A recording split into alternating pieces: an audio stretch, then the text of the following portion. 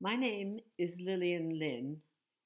I came to London in 1966 and have made my base here ever since. My work covers a large spectrum of interests, from light and its interaction with diverse new materials to the development of a fresh image for the feminine.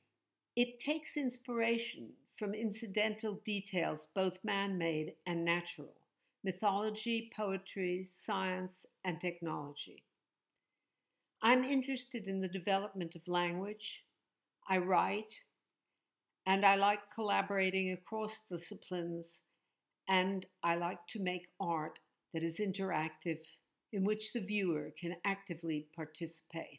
Over my career, I have made many works, both large and small, related to the conical form and when I was approached by the New Hall Art Collection rather early in its history to donate a work of mine, I decided to give them Black Koan, which was a large etching of a black cone, of, a, of an exploding black cone.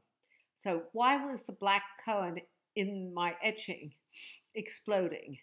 Uh, the reason for that was that I, at the time in 1990, I was going through a difficult period in which I felt both physically and um, psychologically fragmented.